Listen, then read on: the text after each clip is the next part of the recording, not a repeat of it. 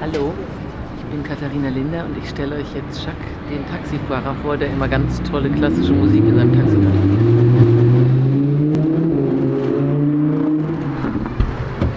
Hallo, Hallo, guten Abend. guten Abend. Na, hier läuft ja wunderbare Musik. Ja, klar. ich komme aus Persien. Und seit wann bist du? Bist du in Persien geboren oder bist du hier geboren? Ich bin in Persien geboren ja. und äh, als ich 19 Jahre alt war, habe ich das Land verlo- äh, ver ver verlassen. Ja. Ich hatte eine, eine ähm,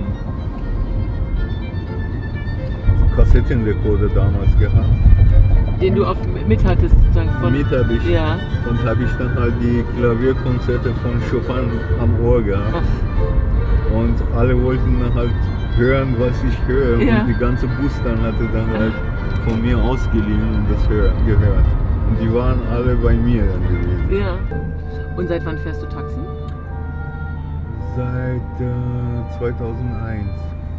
Also Okay. während meines Studiums. Ich habe studiert Ja.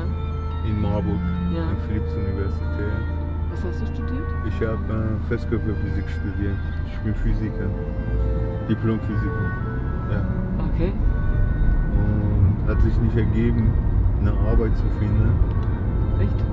Ja, und dann habe ich dann mir gedacht, äh, dann fahre ich weiter Taxi, bis ich einen richtigen Job finde. Aber ich muss ehrlich sagen, ich habe vieles verloren, also vergessen. Ja.